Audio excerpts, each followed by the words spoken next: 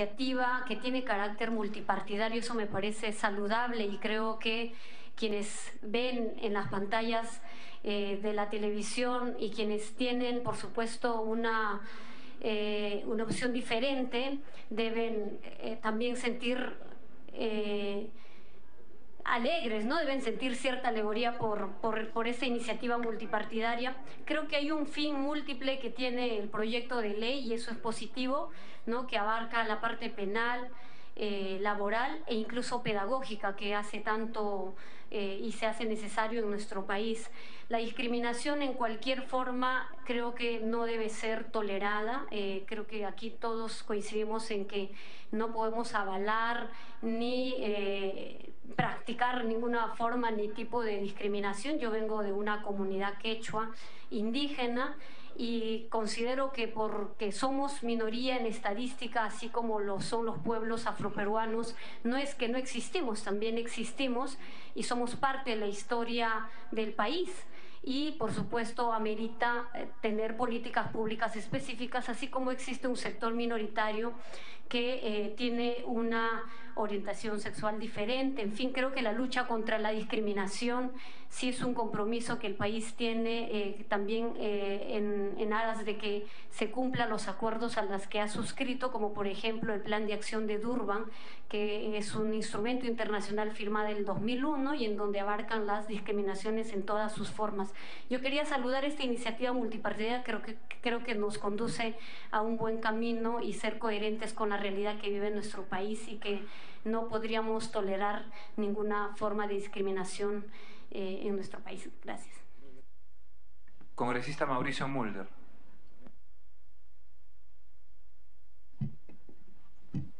Presidente, hay que ser claros y creo que hay que ir directo al meollo.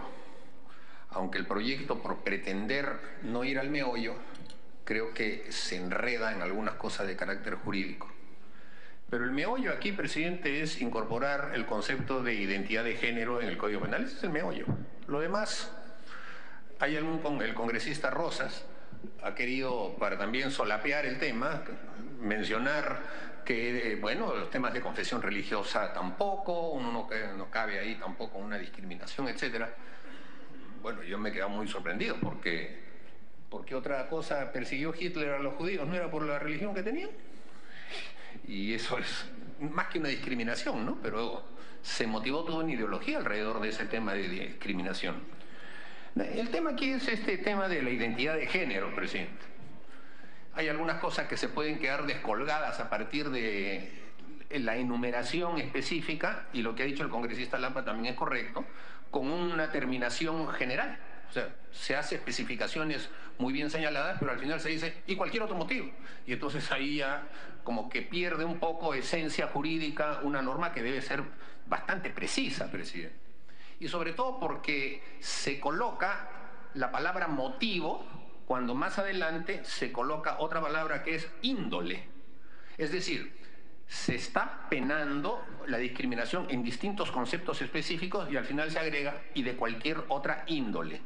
Hasta ahí, presidente, podríamos establecer que muy bien hay que abrir el espacio para que no solamente las enumeradas, sino también pueda haber alguna otra que no se le ocurra al legislador y que haya en el futuro sido o sea motivo para que alguien cometa un crimen o una discriminación.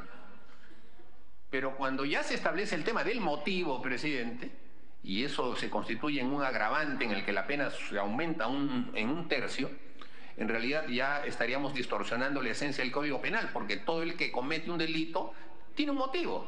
Puede estar hasta loco, pero tiene un motivo le debe plata, lo miró mal, lo insultó, y entonces tendremos que agregar todo eso. Entonces no se puede poner de y cualquier otro motivo cuando se señala como agravante del delito, porque si no ya todos los delitos serían, tendrían la condición de agravante. En segundo lugar, presidente, me parece que estamos discutiendo sobre un tema penal, pero que tiene una pena de dos a tres años. O sea, eso en el Perú es cero. De dos a tres años. No sirve para nada. Entonces, tanto, tanta discusión solamente para un delito que tiene esa pena. Presidente, este delito hay que aumentarlo.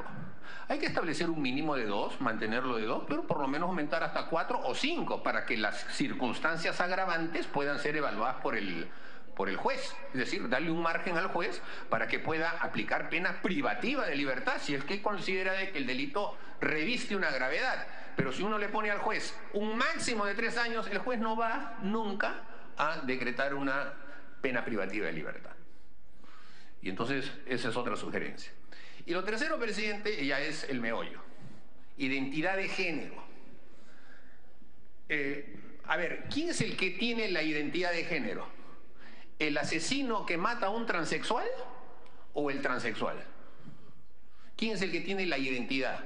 Es el transexual, ¿no es cierto? Es la víctima. O sea, él es asesinado por ser transexual. Y entonces le estamos diciendo a la sociedad, aunque no me guste el, transexualismo, aunque me parezca repudiable o lo que sea, el que mata a un transexual, No, no, hay un crimen de odio ahí. Porque la persona en su identidad no la reconozco. ¿Es eso posible, presidente? O sea, cabe la, en, eh, eh, una situación de crimen solamente porque la víctima tiene una identidad que es su derecho, porque eso no lo vamos a cambiar, ¿no es cierto? Eso no se va a modificar con nada. Y si esa persona, en el ejercicio de su derecho, en el ejercicio de su derecho y su libertad, decide o siente, porque también aquí se habló de que a nadie la pueden discriminar por, con su piel porque uno nace, no escoge su piel, ¿no es cierto? Tampoco se escoge en eh, la identidad, presidente, tampoco se escoge. Muchas veces viene. Puede haber casos en los que se escoja, pero bueno, está en el ámbito de la libertad de las personas. Pero es el derecho de la persona, es su identidad, su, la de él, no es la del criminal. Y por lo tanto, presidente, que nosotros en este momento digamos que exista o no exista, en la realidad sí existe, porque se cometen ese tipo de crímenes con ese, con ese motivo. Y ese es justamente el que queremos penalizar. Entonces, no se puede, presidente, ocultar las cosas ni disfrazarlas. O sea, es una realidad y hay que establecerla como tal. Y si los aplicadores del derecho, que son los jueces, no tienen un instrumento, entonces van a considerar siempre que los delitos de odio motivados por identidad de género, que es, el, medio, el meollo del asunto, lo seamos claros, van a ser considerados como simples homicidios simples, aunque se hayan motivado por el odio. Y es un absurdo que nosotros vayamos hacia una posición como esa. Entonces, seamos claros, presidente, este es un tema de derechos de las personas. El congresista Rosas puede odiar a los transexuales, a los gays, a las lesbianas, puede decir que, que son personas que no deben merecer ningún reconocimiento, pero sí son personas que tienen derechos, son ciudadanos que votan, a lo mejor algún despistado por ahí, porque en el Perú hay de todo, hasta votó por el congresista Rosas, yo no sé, pero votan, tienen DNI, tienen DNI, deciden a los que estamos aquí presentes con su voto. Así que, presidente, o sea, si les vamos a aceptar el voto, si les vamos a permitir que candidateen, o sea, si tienen derechos como cualquiera de todos nosotros, no, pero en esto no. ¿Por qué? Porque me interesa con quién te acuestas. La verdad, presidente, estamos ante un tema de derechos y no ante un tema en el que pueda considerarse que eh, alguien eh, se pretenda por encima de la Constitución y de las leyes. Por eso es que esto se ve en la Comisión de Justicia. Y por eso es que lo que estamos modificando es el Código Penal. Entonces, yo saludo que muchos congresistas que comienzan sus intervenciones diciendo que no pertenecen a esta comisión ni ni siquiera son accesitarios hayan venido. Pero también consideren que esta es una comisión que debate temas jurídicos, que debate el Código Penal, y entonces eso necesita cierta versación y los que generalmente estamos en esta comisión somos personas que hemos pasado por el derecho. Claro, no es obligatorio, por supuesto, pero hemos pasado por el derecho porque eso permite un poco la mejora del debate. Entonces, este es un tema jurídico, presidente. No dejemos eh, que se nos distorsionen las cosas con temas confesionales, que dicho sea de paso no está colocado tampoco. No lo he leído. Por confesión religiosa no está. Religión dice en el 323, correcto.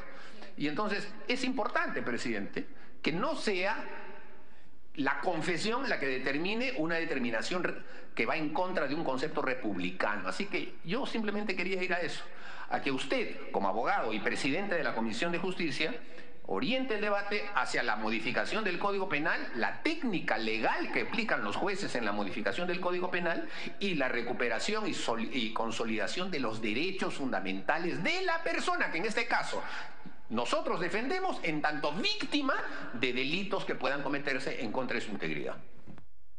Muchas gracias, congresista Mulder. Tiene el uso de la